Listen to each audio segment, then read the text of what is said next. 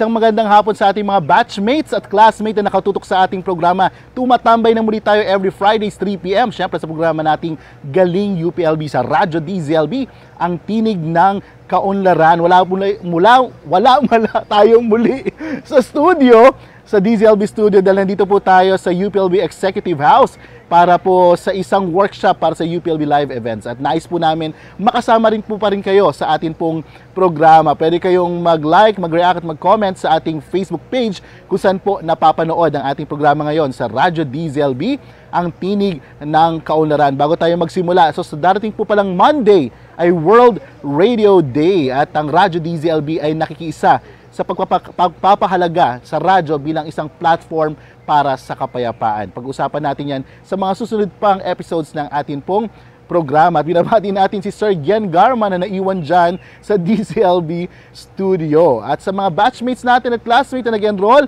sana ay kompleto na ang inyong units dahil next Monday, no? February 13, simula na po ng uh, second semester na academic year 2022 ito uh, up to 2023 no? At syempre after that ay UPLB Feb Fair 2023 na rin po. Kaya po sabi ko nga meron na ba kayong uh, kadate dahil face to face or in person na po ang ating Feb Fair? Excited tayo dahil nakita ko yung Chubibo at yung Ferris wheel na sineset up na dyan malapit sa Baker Hall. Ano bang mga karanasan ninyo at kwento sa UPLB Feb Fair? Pwede niyo siyang i-share sa atin pong programa. Pero bago ang lahat, binabati po natin ang ating mga classmates na nakatutok sa ngayon sa atin pong uh, Facebook Live, lalo na po yung mga alumni natin na excited na excited na rin syempre yung bumalik sa ating pamantasan. Tulad ng akin pong nabanggit mga batchmate, ha, wala po ako sa Baguio, pero ito po nakikita nyo pong setup natin ay nasa UPLB Executive House. Dito po yan sa UPCO kung saan nakatira po ang ilan nating mga faculty, mga reps at staff. No po? At uh, patuloy po kayong mag-comment mamaya yung mga nagpapa-attendance check katulad nila Ma'am Peralta na nakatutok na rin po sa ating programa ay babatiin po natin. So bago siguro tayo makasama yung ating mga batchmate at classmate dahil meron tayong uh, uh, magandang interview ng uh, Office of the Vice Chancellor for Research and Extension tungkol sa experiment no na tatak UPLB na ginawa outer space. Kung ano yan, mamaya si Hara magkukwento at syempre ang aking best friend, best friend Polly ay meron pong na-interview na isa na naman pong tatak UPLB. Sa oras pong ito na 21 minuto makalipas ang alas 3 ng hapon, Pakinggan po natin ang latest updates at happening sa ating pamantasan. Handog sa atin ng Office of Public Relations. Heto na at arangkada ang UPLB Balita.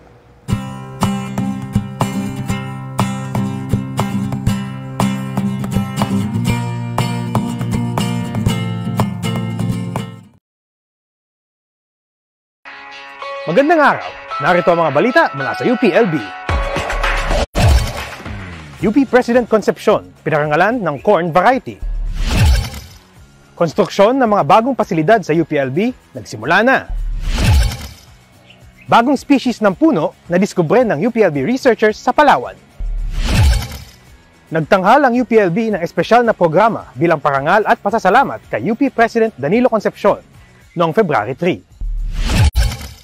Opisyal nang nagtapos ang panunungkulan ni President Danilo Concepcion noong February 9.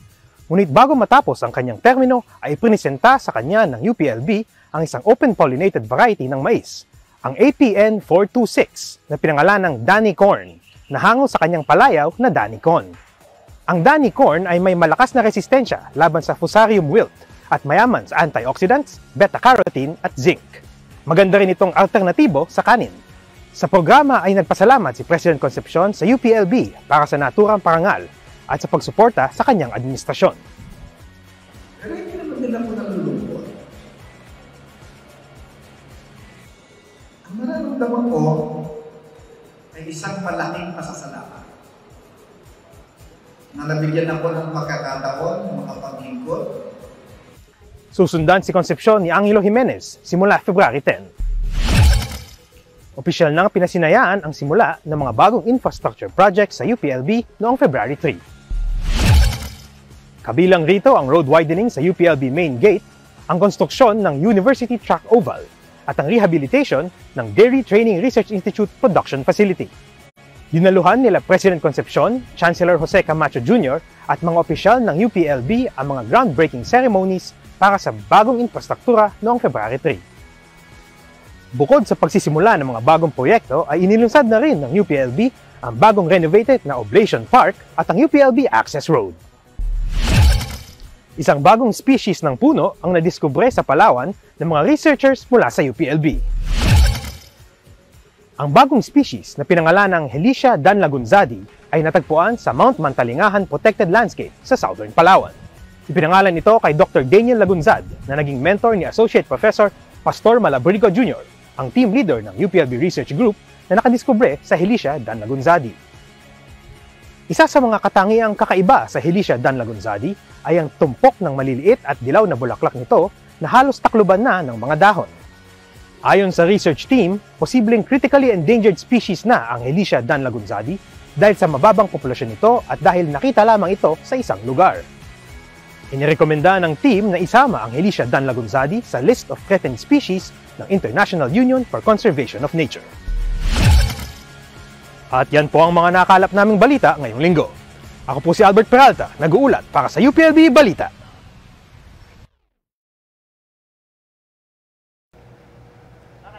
Maraming salamat Albert Peralta mula sa Office of Public Relations sa paghatid sa atin sa latest news dito po sa ating pamantasan sa UPLB Balita. At uh, isang ang highlight dito no yung pagpaparangal ng UPLB sa atin pong uh, uh, president na si President Danilo Concepcion. Present tayo doon mga batchmates no kung saan ipinangalan sa kanya ang isang bagong variety ng mais ang Danny Corn. Aba?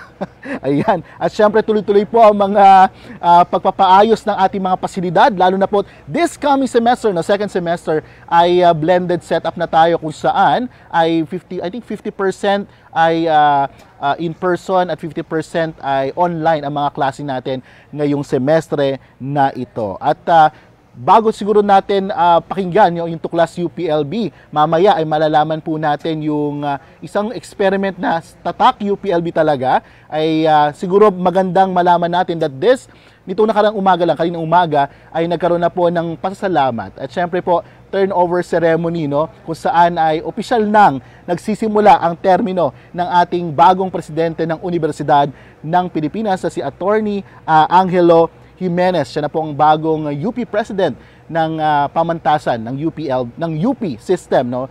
Ang UPLB po ay isa lamang sa constituent university ng uh, UP.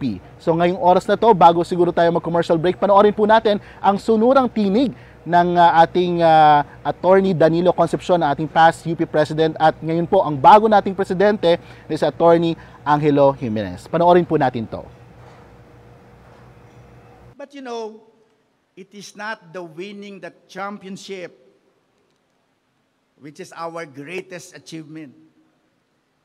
The greatest achievement is we were able to unite the whole UP community. We rekindled the UP spirit among us, and we were able to come up as one, as one UP in spirit and resolve to our best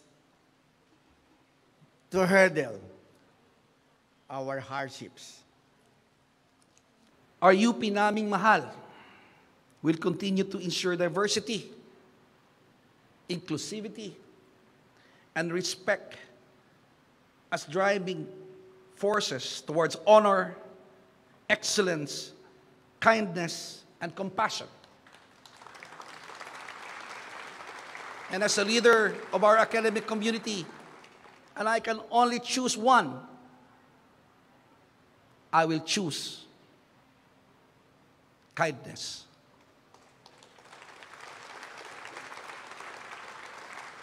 Our community deserve no less.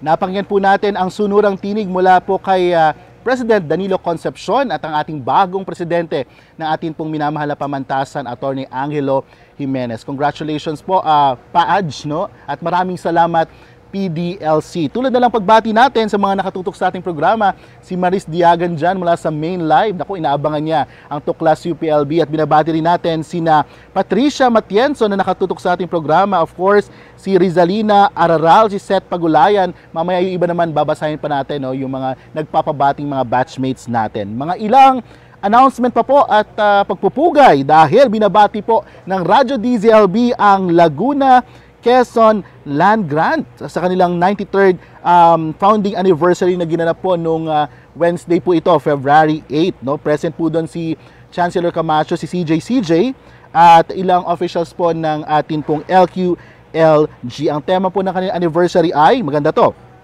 revitalizing the Philippine National Botanic Garden, ensuring or ensuing future-proofing of the UP Sierra Madre Land Grants. Kanina sa report natin kay Gian Garma sa DZLB News, no, yung mga illegal na pagtutroso dyan sa Sierra Madre ay isang bagay din na tinututukan ng ating Laguna Quezon Land Grant. At isa pa pong magse-celebrate naman ng anniversary, 40th anniversary ang Institute of Biological Sciences kung saan bahagi ang ating partner na si Doc O'Neill Flores no dahil 40th anniversary po ng I BS, sabi ko sana IPB. IBS, ito po gaganapin mula Feb 27 hanggang March 25. Ang kanila pong tema ay IBS at 40 Transcending to Greater Heights Towards Scientific Progress in a VUCA Society. Naku mga batchmates, ano ba ibig sabihin ng VUCA? I-chat nyo po yan. No? Sa atin pong babalik, makakasama ko na si Har at alamin at tutuklasin natin itong sinasabing experiment daw ng isang Certified Attack UPLB student na in- ginawa sa outer space. So balik yan ang Galing UPLB sa Radyo DZLB, ang tinig ng kaunlaran. Galing UPLB Galing UPLB Galing UPLB Hi, I'm Milona, and this is the Meal Now, Pay Later. Are you one of those skipping meals due to financial constraints to cover your daily necessities? Our solution MNPL, Meal Now, Pay Later program of the UPLB Office of Scholarships and Grants. Who may qualify? Students who are under the full discount and full discount with stipend of the SLAS bracket. The student assistants students with OSG administered scholarships, and students with no existing loans under OSG.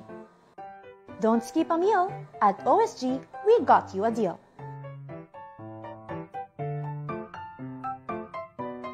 Again, don't skip a meal.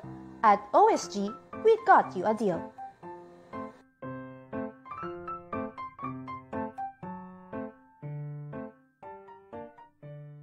Hi, I'm Milona, and this is the Meal Now, Pay Later. Are you one of those skipping meals due to financial constraints to cover your daily necessities? Our solution MNPL, Meal Now, Pay Later program of the UPLB Office of Scholarships and Grants. Who may qualify? Students who are under the full discount and full discount with stipend of the SLAS bracket. the student assistance, students with OSG administered scholarships, and students with no existing loans under OSG. Don't skip a meal. At OSG, we got you a deal.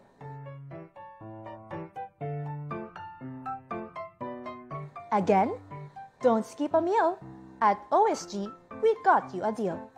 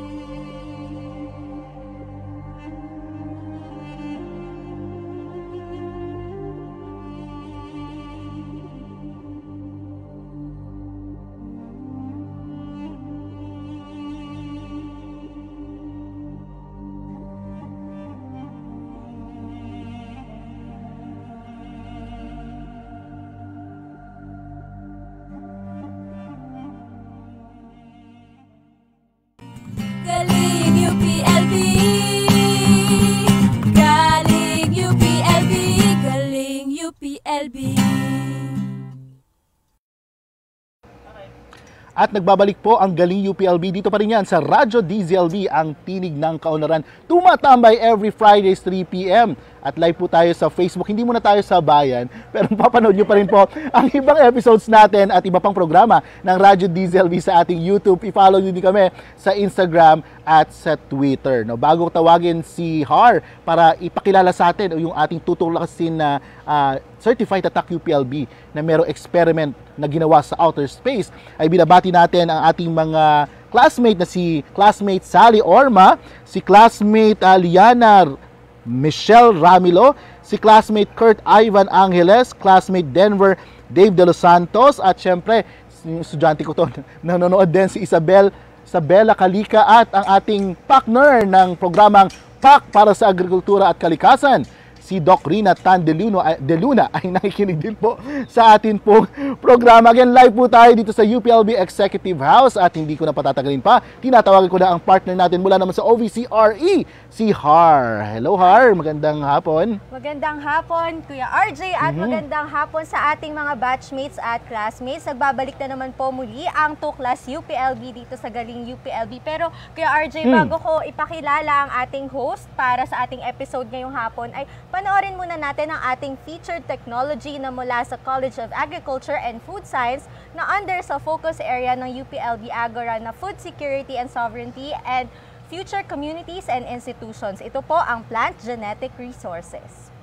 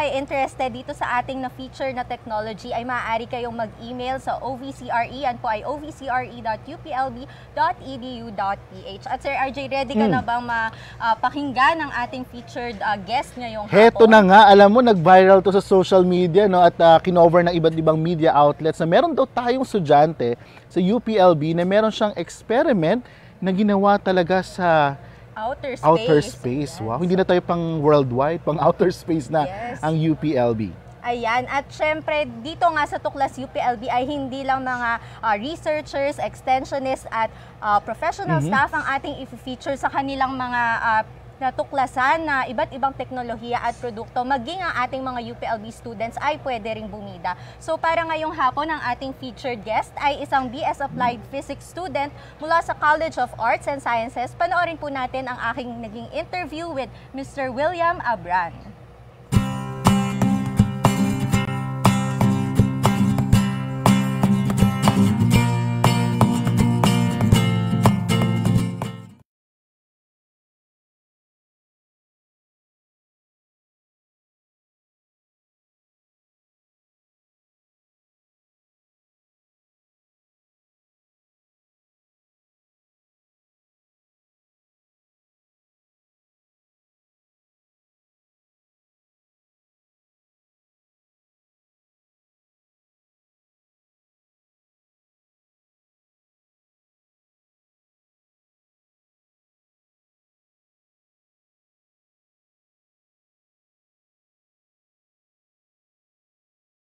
Na nag adjust ulit sa environment kasi medyo iba yung klima.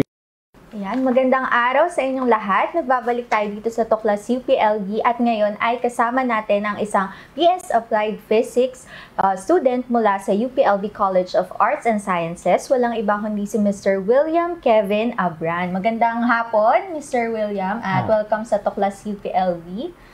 Ah, magandang hapon din po, ma'am. Ayan. Thank. Kamusta ka naman balita ko ay ngayon ka pa lang talaga nakabalik dito sa ah, campus gawa ng ah, ngayon lang din tayo nag-shift talaga sa fully ah, ah, face-to-face classes. Well, ayun, okay naman. Uh, nag adjust ulit sa environment kasi medyo iba yung klima doon sa norte. Mm, so medyo malamig dito ngayon gawa ng ah, Pebrero. Pero syempre, ang talagang ipinunta natin dito at ah, ipinaalam namin sa inyo na interview ay para sa iyong um, science experiment na may kinalaman sa space research.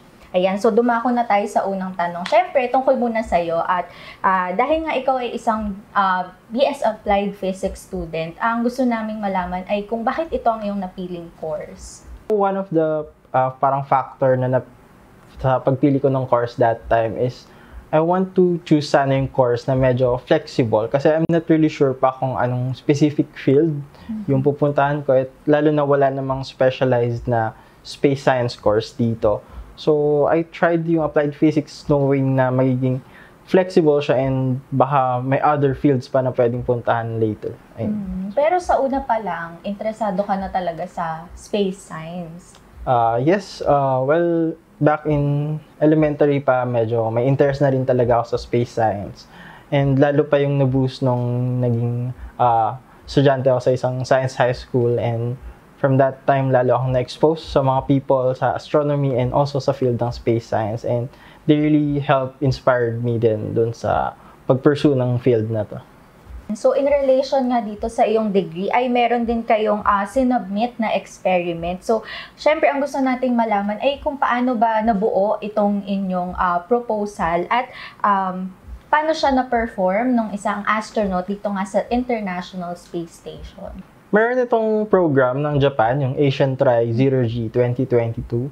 And back April, nag-release sila ng call for application sa mga young students to propose yung mga basic experiments lang na kayang makonduct ng astronaut sa space.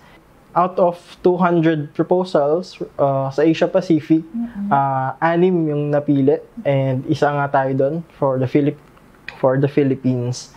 Um, well, yung pag pag uh, isip kasi dun sa proposal, somehow mas naging madali kasi may guide kami. Um, kumbaga hindi naman siya from scratch talaga kasi when doing experiments sa space, siyempre ang daming restriction. You have yung of course, yung effect ng microgravity, um, bawal kaming mag-produce masyado ng mga experiment na may water or fire kasi siyempre that would be dangerous din sa station.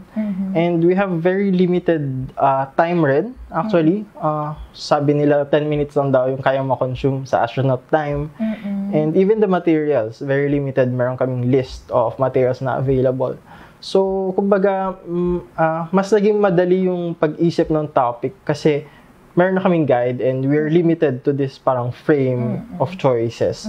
So, based dun sa available materials, nag-try na lang mag-isip ng topic na pwede kong mapag-aralan gamit yung mga yon And ah doon na nga nakarating yung idea ng pag-conduct ng experiment na double ah, rotations. Bilang nabanggit mo yung dumbbell experiment, maaari mo bang ah, i-explain siya na ah, siguro mas ma malalaman pa natin yung pinaka-proseso ng inyong ah, ginawang proposal. And syempre, ma-explain din natin kasi ito na yung chance para mas ma- ma- maipaintindi natin sa ating mga viewers, sa ating mga kapwa-estudyante kung ano nga bang ibig sabihin nitong experiment na ito para sa space research. Well, actually, simple lang yung experiment. Um, we have these shapes kasi na kapag pinaikot sa space, um, bigla silang bumabaliktad ng rotation. Kumbaga, nag-flip. Ito nga yung tinatawag namin Johnny Bekov effect. And napakita naman na nito before. And it's just, kumbaga, parang good na rin to understand yung behavior din ng iba pang shapes. Kasi malay natin, baka bigla sila mag-flip or, or kumbaga mag iba ng orientation. And naging curious ako dito sa ah, shape ng dumbbells kasi Specifically. ah, parang ano eh, ah, meron kasing tinatawag dun yung parang moment of inertia, kumbaga ganun. And ah, kumbaga iba kasi yun pagdating sa magkakaibang shapes. So, ayun, tinest lang namin yung stability nung pag-rotate ng dumbbell shapes kung ah, magiging stable ba sila, kung tuloy-tuloy lang pag-ikot. And pinove lang namin na hindi sila, kumbaga, mag-change orientation and in space actually. Yun lang. Mm, So, ibig sabihin, yung dumbbell na shape niya, nananatili siyang stable in space. Yes, yes. Ayun. Yung So- pag-ikot nila is dire-diretso lang, hindi sila ah, biglang nag-flip. Hindi katulad ng mga Kapag ibang shapes, normal kagaya shapes. na... Ka- kagaya nung ah, siguro yung shape ng phone, actually mayroong way ng pag-ikot dot na bigla sila mag-flip. Yung Ah. rectangular shape. Yes, yes. Ah, same yung mga parang T na shape, ganun din. May mga ganong rotations din na bigla sila mag-flip. So, compared dun sa mga usual na um, ah, materials or gamit na ating pinapadala na, sa space, ano ba yung difference ng movement ng mga yon versus kapag dumbbell shape yung ating um, tinitingnan na hugis o forma nung siguro yung tin- inaayon nyo na material, ganyan. Well, ayun. Um, ah, isa kasi dun sa parang concept dun is yung moment of inertia nga. And yung mga iba kasing 3D shapes, kumbaga, meron silang parang tatlong ah, unique moments of inertia. Siguro pwede mo siyang imagine as, ah, kumbaga, pag tinignan mo sa X, Y, Z na plane is magkakaiba yung shape nung, nung, nung o- object na yun. Parang ganon. So, ganun yung usually yung shape, di ba? Yung mga cellphone, ganyan. Siyempre, magkakaiba pag tinignan mo sa side na to, sa side na to, sa taas. Pero sa dumbbell shapes kasi, dalawa lang yung unique uh, moment of inertia niya. Kasi, kumbaga, yung along the rod, and then yung sa side niya is same lang din sa, kumbaga, parang X and Y axis. So, ayun, uh, since dalawa lang siya, uh, mas stable siya. Unlike yung other na tatlo kasi yung unique moment of inertia, yung panggitna doon, yun yung unstable. So, ayun, uh, we just tried to really uh, show lang din, kumbaga parang physics demonstration na etong shape nga nito is stable and pwede natin siyang magamit later as concept for designs pag nagpapadala ng gamit sa space. So, bukod nga sa ah, iyong experiment na pinadala sa Japan Aerospace Exploration Agency, ano pa ba yung mga nakikita mong ah, applications nitong inyong experiment sa ating ah, space research and exploration? Siguro din um, opportunities para sa Pilipinas na mas ah, mapag ah, tibay yung kanilang stand or visibility when it comes to space research. And, well, uh, it shows kasi itong, kunyari itong experiment na to na how far we can go when it comes to doing research na we can conduct experiments in space and it's really ideal place then to do experiments there kasi you can isolate things. Pwede mo silang pagalawin ng hindi nakatali. So parang less yung friction, ganyan. And when, if you want to uh, do chemical reactions, you can isolate them sa atmos or kumbaga, kumbaga sa air. Hindi mo na kailangan ng container kasi minsan nakaka-cause sila ng contamination.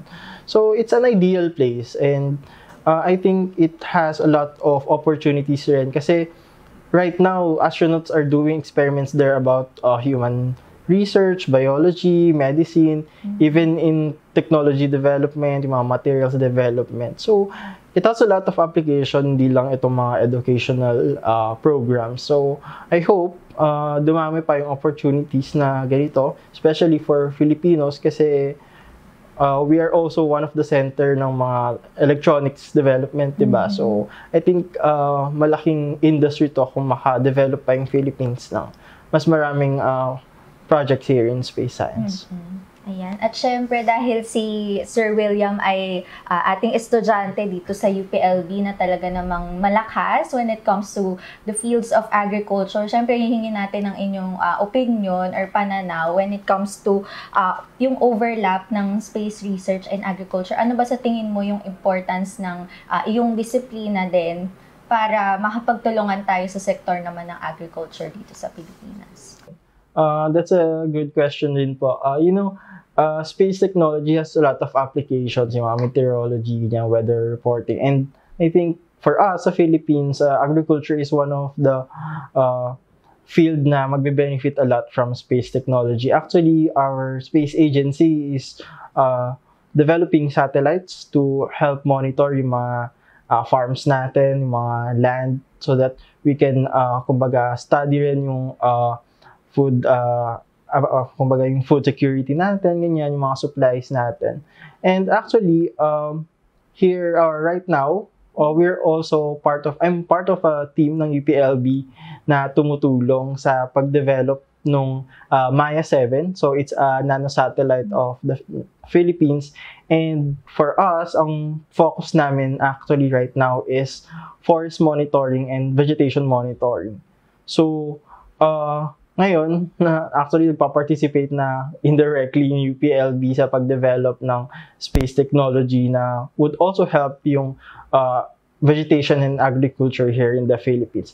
Kasi uh, space is like a very good uh, parang platform eh. It's like a bird's eye view. Actually, mas malayo pa sa uh, kumbaga sa territory natin. And it's a good viewpoint din kasi you can really look at uh, huge areas in uh, uh, quicker, kumbaga, mas madali and uh, mas mabilis din ma uh, ma-study yung mga uh, data. Unlike pag kasi mga land-based ganyan or area, uh, it, it would really take time and effort din to scan yung mga large areas. So yeah, I think space technology has a lot of applications and yun nga, uh, agriculture, it's it's a big opportunity na rin for the Philippines. At syempre, bukod sa sektor ng agrikultura, ano pa sa tingin mo yung ah, implications or kahalagahan ng ah, space research at syempre ng inyong field ng applied physics sa ating iba pang ah, sektor para matulungan natin sa pag-unlad ng Pilipinas? And uh, perhaps I can focus nga dun sa more applications ng mga space technology natin. Um, for example, uh, our Philippines, uh, yung bansa natin is very prone sa mga disasters, ganyan, mga typhoons. And uh, yung mga satellites natin, mga weather satellites, they are really helpful in uh, monitoring and predicting yung mga weather natin. And aside from that, uh, yun ding uh, disaster response pag may uh, uh, pag may bul- uh, pumutok na vulkan, ganyan, mga earthquake, and yung mga communications natin, of course, uh, very reliable din yan sa mga satellites natin, yung mga TV satellites, ganyan, even the internet. Uh, pagdating din sa mga navigation, mga GPS, yan, uh, of course, gumagamit din yan ng mga satellites. Even yung security natin, national security, of course, uh, sa mga reconnaissance, ganyan, uh, satellite images really helps a lot. So, yeah, ilan lang yun sa mga uh, practical or kumbaga very visible use of space technology. Pero aside from that, yung continuous exploration natin sa space, actually nakaka-produce din yan ng mga technology, nakaka-derive sila ng new technologies na somehow helpful rin pagdating sa atin. May mga parang indirect inventions kasi yan na originally nag-start sa space. For example, yung mga uh, digital cameras natin na compact and uh, na-develop din sila because of space exploration. I think pati yung mga parang powdered nutrient food, ganyan. So, gal- na-derive din yan sa mga space exploration. So, yeah, uh, it's a really good field and there's a lot of things to explore pagdating sa space and actually napakalawak din ng space. And minsan hindi direct yung application nila sa humans pero in the end, uh, we would still benefit from them. Mm-mm. So, kumbaga yung extreme conditions na meron sa space, maganda siyang setup or um, environment para matest natin yung mga uh, products or technologies na gusto nating uh, magamit din dito sa lupa kung tinatawag natin. Yes, po, yes. Siguro para sa ating uh, huling question or huling um, invitation sa'yo, any uh, mga payo or uh, mga, may gusto ka bang sabihin sa iyong mga kapwa student researchers? Well, siguro sa mga kapwa ko young researchers, um, we're very lucky kasi uh, meron tayong internet. So, uh, mas nagiging accessible na yung mga information. Uh, hindi lang local, pati international. We can learn any field we want. Uh, actually, itong space science din, natutuhan ko lang din to kakabasa ng mga articles or books online.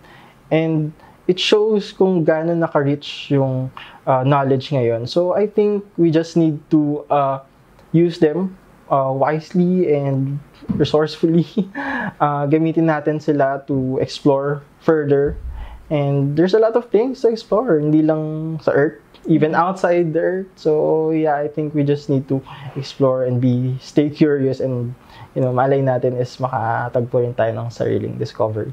So, maraming maraming salamat, Sir William Kevin Abran, para sa pagpapaunlak dito sa ating interview sa Tuklas UPLB. At sana, syempre looking forward ang buong UPLB na mas magtagumpay ka pa sa iyong field at kagaya nga ng iyong nasabi ay meron pa tayong ah, bagong mga discovery na magpapalakas sa ah, posisyon ng Pilipinas when it comes to space research.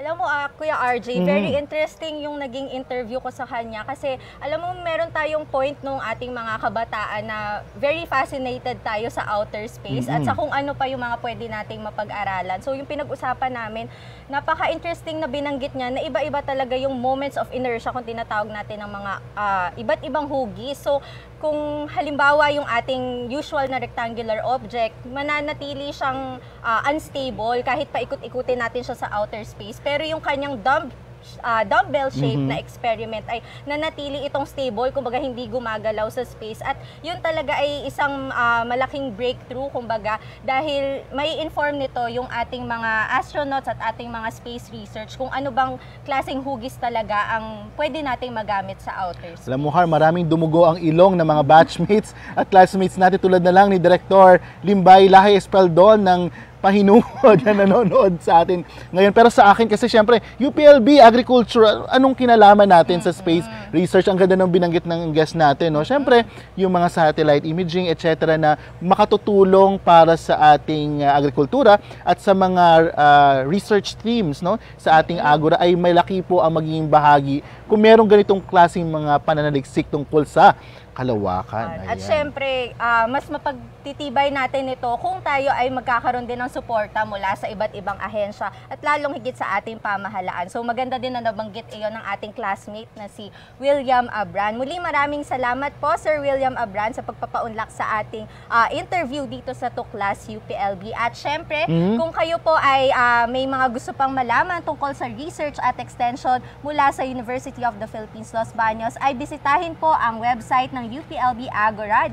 That- That's uh, agora.uplb.edu.ph. Okay, Har, siguro next next Friday Yes. ay makasama pa rin natin ang mga taga OVCRE para sa isa na namang ah, segment natin, yung Tuklas UPLB, pero more extension and public service. Pero bago ang lahat, binabati natin yung mga classmates na nakatutok din po sa ating programa ngayon, si Christopher De La Cruz, hindi kalamlam, Matthews Imcon Abris, Angelica Sunga, si classmate Jana Romero, classmate Abigail Abanilla, classmate Nicole An- Anakay, ah, classmate Rizalina Araral, si Direk Limbay Lahi Espadol nga kanina ay sabi ay dumudugo na ang ilong. At si Wencelito Hintural mula sa ERDB kasi I think mamaya si Polly magpapaliwanag. At syempre mula po sa UPLB College of Public Affairs and Development. Mamaya alamin natin yan sa Tatak UPLB. Bago tayo mag-pause for a break, Har, ay uh, nagpapaalala ang ating uh, main library na pwede na daw pong magpa-validate ng inyong mga IDs ang mga estudyante natin for second semester.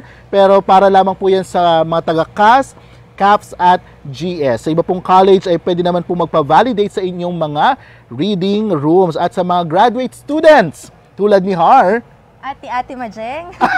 Pero ito yung para sa mga new graduate students po. Meron kayong orientation ba sa araw ng mga puso. February 14, Martes, 9 a.m. sa new GS building. No? Nasa screen po natin yung link para sa registration. Sa ating pong pagbabalik, eto na ang TikTok master natin na si Best Friend Polly sa ating Tatak UPLB. Dito pa rin yan sa Galing UPLB, Radyo DZLB, ang tinig ng kaunlaran. Galing UPLB Galing UPLB Galing UPLB Hi, I'm Milona, and this is the Meal Now, Pay Later. Are you one of those skipping meals due to financial constraints to cover your daily necessities?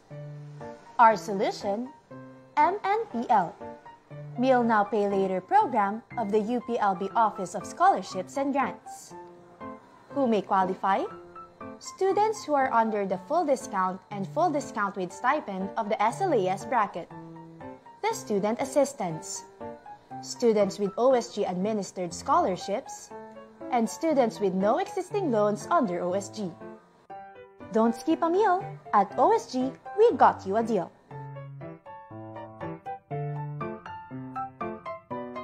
Again, don't skip a meal. At OSG, we got you a deal.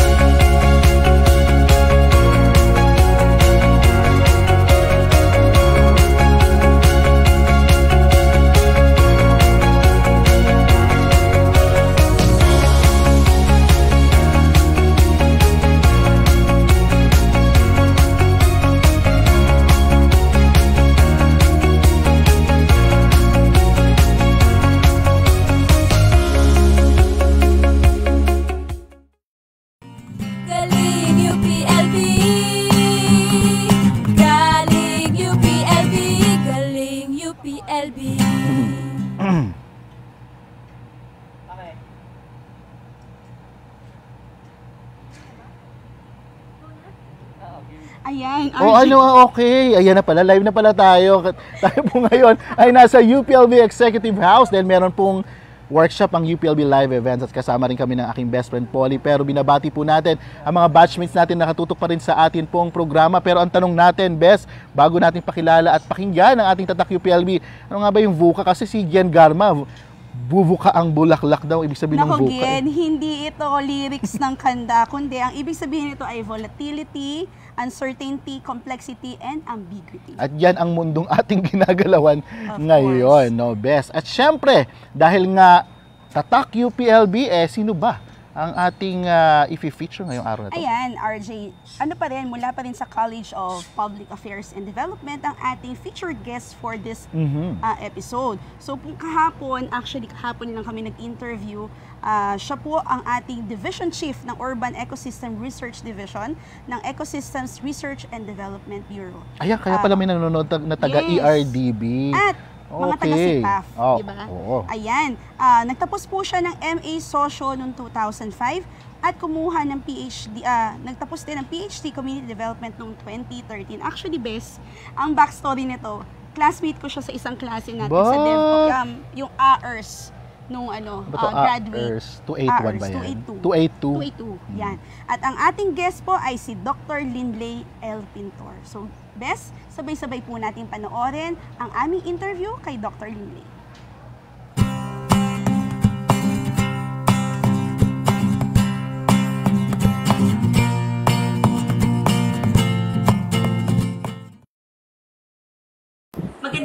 Mga classmates at batchmates. Welcome sa Tatak UPLB segment. Kasama ko po ngayon dito sa isang kwarto dito sa ERBB ang ating tampok na panauhin para sa second episode ng Tatak UPLB. Walang iba kundi si Dr. Linley Pintor. Magandang hapon ma'am. Welcome po sa Tatak UPLB segment. Patingin po muna ang ating mga fellow batchmates and classmates. Magandang hapon sa inyong lahat, especially sa mga batchmates ko sa SIPAF and sa mga naging professors ko in uh, SIPAF. Ayan. Dahil dyan, umpisahan na po natin ang ating kwentuhan with Ma'am Lily. So, Ma'am, currently, ano po bang ginagawa niyo ngayon at paano po ba nakatulong ang SIPAF sa field na tinatahak? Currently, I am the research and program manager of the Urban Ecosystem Research uh, Division ng uh, Ecosystem Research and Development Bureau, the research arm of the DNR.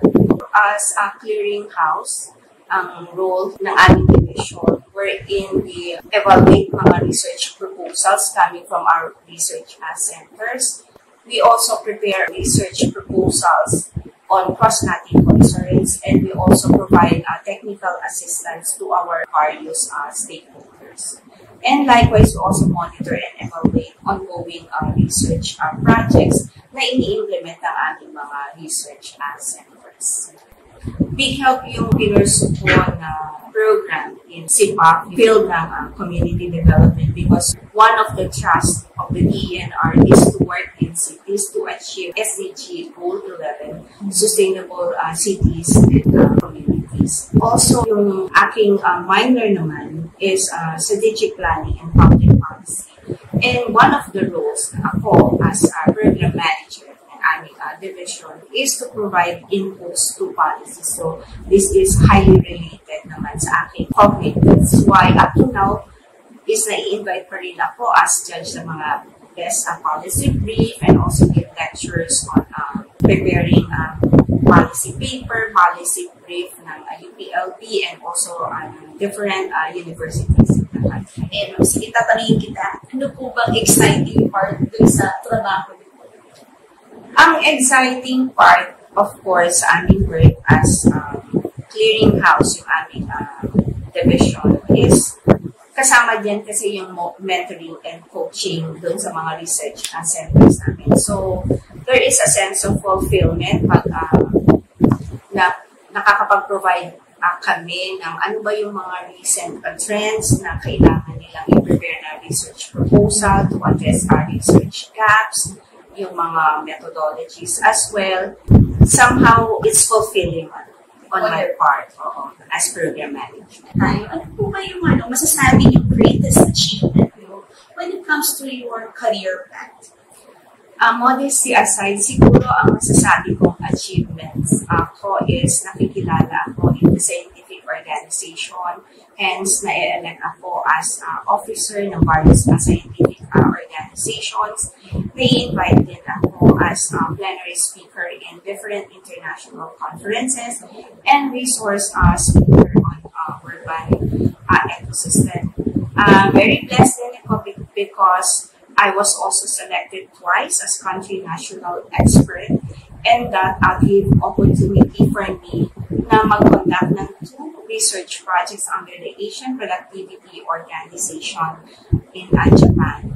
And also, dahil researcher din ako sa aking puso at isipan, so I was also given the privilege to receive Best Paper Wow, congratulations, ma'am. Masarap sa pakiramdam kasi talaga pag researcher ka tapos meron ka talaga paper na nare-recognize na.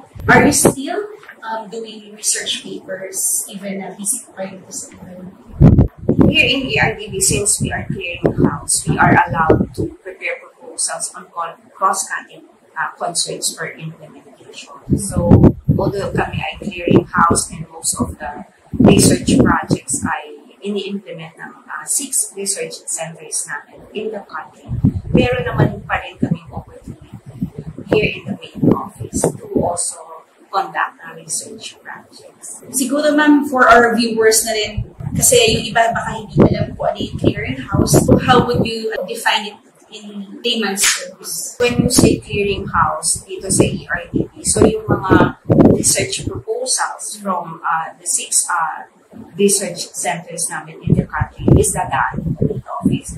So, yung mga research proposals related to urban ecosystem, so dadaan yan sa aming division, wherein I serve as the research program manager. And we review this uh, proposal, kung ito ba ay walang duplication, kung ito ba ay naka-align sa aming ENR RDE framework, And then, we will uh, clear the proposal na ito ay pwede gawa ng uh, full-blown proposal for review ng, uh, ng aming mga pool of evaluators. What message can you give to those na nagpa-plan na mag-graduate studies? Siyempre, uh, marami po sa ating mga nag-BS na, undergrad studies, isip nila agad, sabi, dapat mag-GS, mag-graduate studies na po. Uh, ano po bang pwede niyong mensahe sa Uh, for those who are planning to pursue a graduate studies, may advantage of course kung mag-pursue ka ng MSc PhD sa SIPAF. Since many students na nag-aaral kasi sa SIPAF are coming from different countries. And also dun sa mga fellow Filipinos ko naman na nag-aaral ng SIPAF, they are working in the Senate, sa mga sa bangko, sa LGU, NGOs, connected sila sa different institutions. Hence, nakaka-establish tayo ng networks or ligations. Na napakahalaga po lalo sa trabaho niyo, di ba? Yes, exactly. Because uh, nagbibigay ito ng opportunities for, for us. Maraming maraming salamat po, Ma'am Lindy, for giving us a look kung ano yung ginagawa niyo po dito sa ERTP at also kung paano nakatulong ang SIPAF sa inyong career. So, dahil dyan, ma'am, syempre, hindi ko kayo pakakawalan na hindi niyo ginagawa ang favorite namin, shout out, ang Tatak UPLB shout out. So, Ma'am Lindy, pwede ko bang marinig ang inyong Tatak shout out? Ako si Lindy Pintor, Tatak UPLB ako.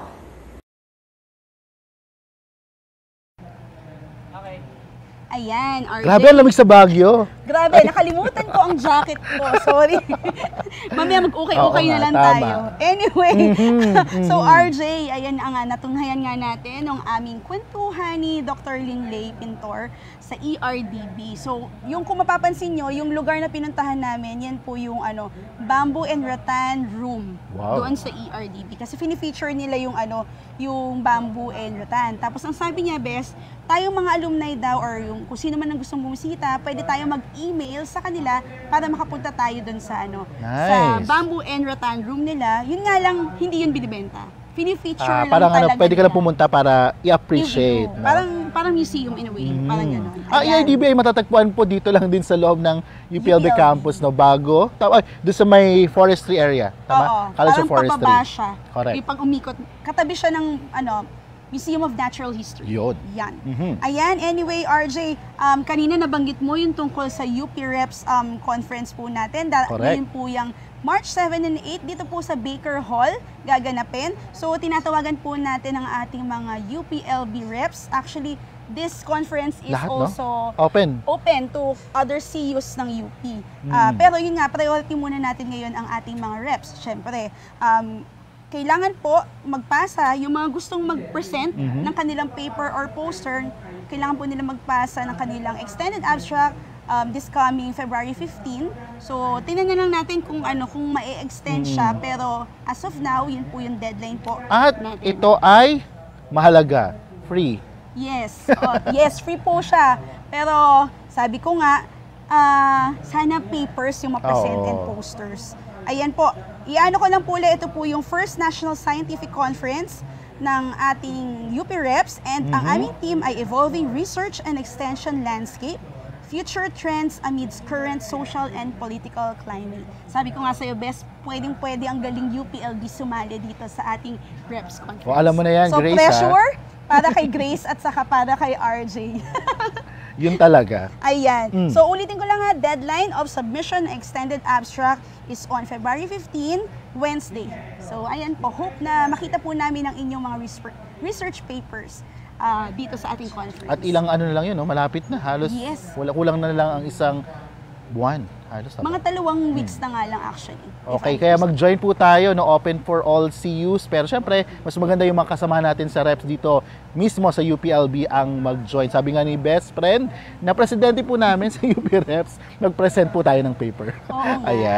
Ayan. O, at- Sayang kasi, para sa atin kasi itong reps conference. Correct. At maraming salamat po sa lahat nga ng tumutok sa ating pong programa, mga batchmates at classmates natin. Ito ang ikalawang episode natin ngayong taon. Imagine. Oo, at uh, syempre humingi kami ng paumanhin no last Friday. Medyo challenging talaga yung internet, no? Pero Yes po. um, masaya naman sila kasi nanood sila ng concert Yes. ng Philippine Philharmonic Oh, Orchestra. saka ang dami, ang daming nanood ng PPO concert. So maraming maraming salamat sa mga tumangkilik. Sana tumangkilik din po kayo sa ating programa, ang galing UPLB every Friday. Correct. At again, maraming salamat sa ating uh, President Danilo Concepcion and welcome and ano masasabihin natin?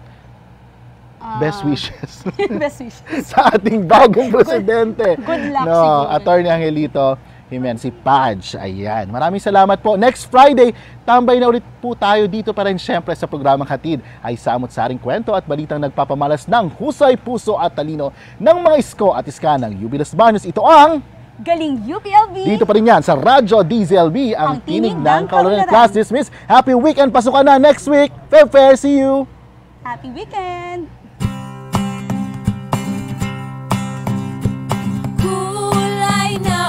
dapat mengkabulkan